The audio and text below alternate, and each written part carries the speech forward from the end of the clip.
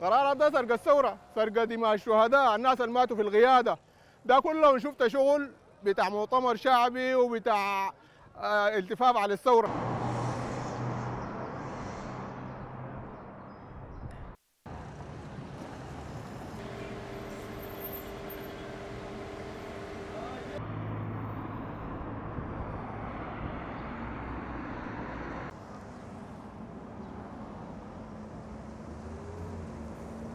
المدنية توفر لشنو؟ توفر للمواطن العيش توفر له العلاج توفر له المدارس توفر له المستشفيات. هسه مستشفيات كثيرة مقفلة.